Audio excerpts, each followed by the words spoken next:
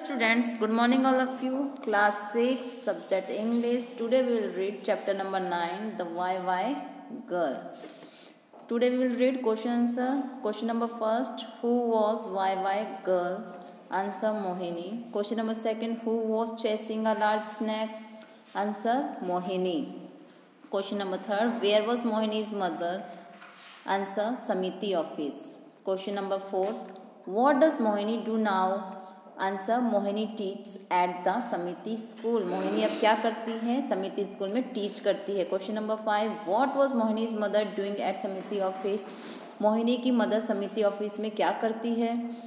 तो Mohini's mother was doing at Samiti office she was weaving a basket वो क्या करती है? विविंग अ बास्केट बास्केट को बुनती है. Number question number six why did Krishna snake her head Krishna अपने हेड को क्यों शेक करती है? यानी क्यों हिलाती है?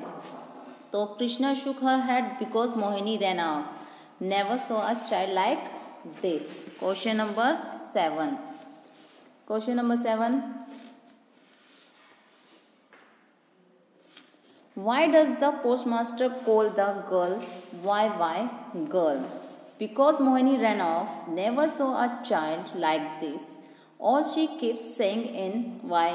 So the girl, so the village postmaster calls her the why why girl. Question number eight.